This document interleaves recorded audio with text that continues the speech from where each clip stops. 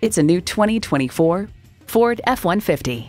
Ford has won over millions of loyal customers with a wide range of value-driven vehicles. It comes with the features you need and, better yet, want.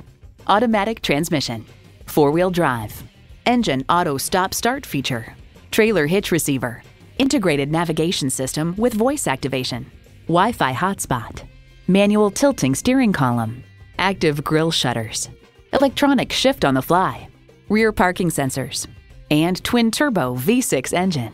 See what it can do for you when you take it for a test drive.